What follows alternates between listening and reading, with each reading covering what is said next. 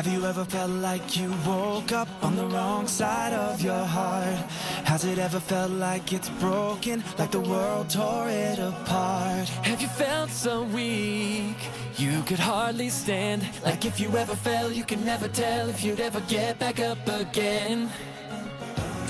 I know it's hard to do, but I think you can make it. Cause I know we can take it.